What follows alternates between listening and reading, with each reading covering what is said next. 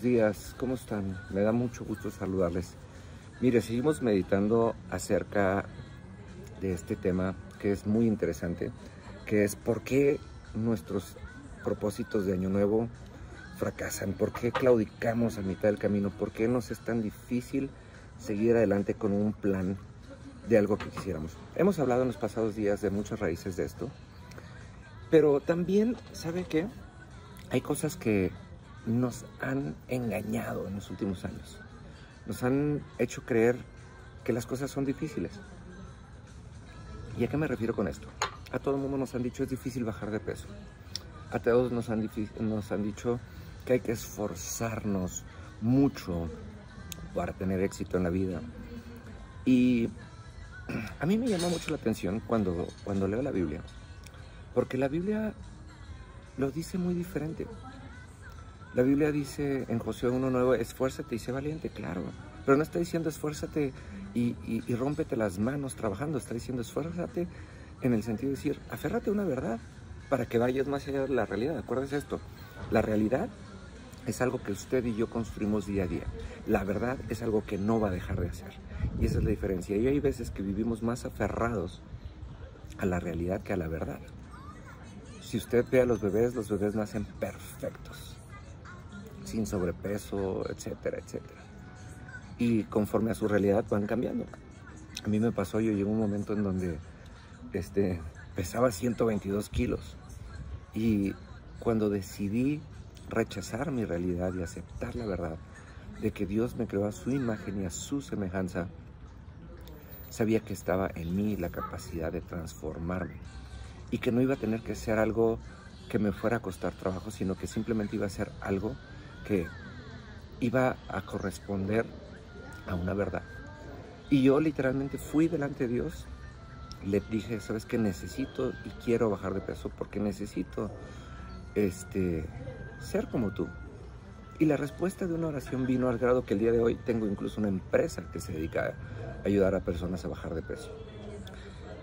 Nuestros hábitos transforman nuestra verdad original en una realidad distorsionada. Es como, mire, mucha gente me dice, ay, a ti te gusta bucear con tiburones. Y sí, me encanta bucear con tiburones, porque he aprendido que son animales fascinantes. Y la siguiente pregunta que me dicen es, ¿no tienes miedo? Y le digo, no, porque un tiburón no hace nada, un tiburón no está acostumbrado a comer humanos. Pero hubo una película que la mayoría de las generaciones actuales ni siquiera conocen, que, bueno, fueron una serie de películas que se llamaban Tiburón de, Steven Spielberg, que cambiaron y distorsionaron la verdad de los tiburones a una realidad, al grado que ahora todo el mundo les teme.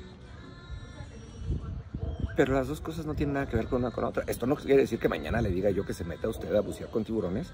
¿Por qué? Porque esto requiere de, número uno, saber bucear. Número dos, requiere una conciencia, responsabilidad de las cosas del mar. Y también requiere cierta pericia. Pero una vez que va uno ahí abajo, es divertidísimo y es sumamente agradable ver cómo estos animales fascinantes viven y conviven con el resto del mar sin hacer ningún daño y mucho menos a nosotros que no nos conocen. Así es lo que nos pasa cada año. Estamos haciendo propósitos de año nuevo queriendo pelearnos con nuestra realidad. Y lo único que necesitamos para pelear o para rechazar o para eliminar nuestra realidad es apegarnos a la verdad y conocer la verdad. Si usted no conoce la verdad de Dios, pues difícilmente va a poder pedirle a Dios algo, porque usted no le puede decir a Dios, quítame la realidad y méteme en otra realidad. Dios le va a decir, aquí tengo una verdad que vale para todo, que es plena, que no tiene vuelta de hoja y que no tiene falla.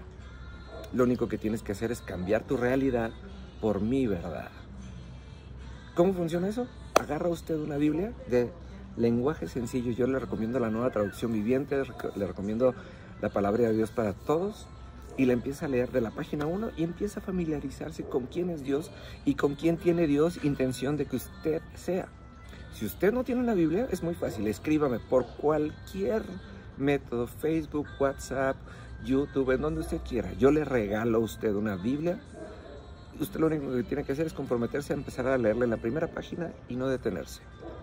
Es un libro sumamente interesante y más cuando lo hace con una versión con un lenguaje sencillo. Entonces, amados, ¿qué le parece si usted en este arranque de año, donde está usted empezando el año, en vez de ponerse a pelear con algo que no entiende, mejor busque algo que sí entiende y que está grabado en su corazón, que es la verdad absoluta de Dios. Y entonces empieza a aplicarla en su vida, eliminando esa realidad que tanto le pesa. Se lo dejo tarea, nos vemos mañana.